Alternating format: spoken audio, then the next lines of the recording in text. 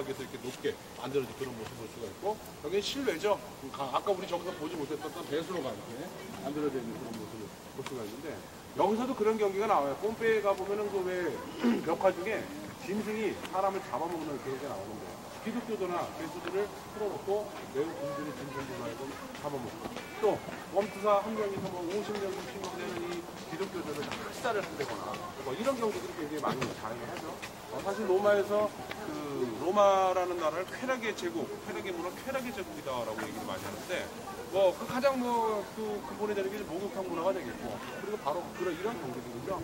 더 큰 향락과 쾌락을 얻기 위해서 돈을 벌어야죠. 돈을 벌려면 자꾸 자꾸 다른 데로 나가야 돼요. 시민들을 건설해야 돼요. 그러다 보니까 자꾸 자꾸 제국이 커지긴 합니다만 뭐 결과론적으로 나중에 이제 향락과 쾌락 때문에 로마가 멸망을 하긴 합니다만 그런 문화의 중심이 됐던 곳이 바로 이 원효극장이다라고 또 말씀을 드릴 수가 있겠죠.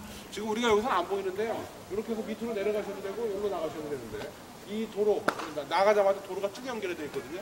어, 그 도로는 아르카디안 도로라고 하는데 아르카디우스 황제 때 만들어져서 이제 아르카디안 도로.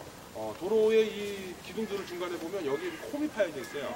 여기다가 횃불을 꽂아놓습니다. 횃불을 꽂아놓고 날이 어두우면 여기다 횃불을 밝혔었던 가로등이 있었던 도시가 된다는 거예요. 그러니까 여기 얼마나 대단한 도시인지를 또 알려주는 그런 대목이 되겠죠. 자, 여기는 위에 올라가서 내려다봐야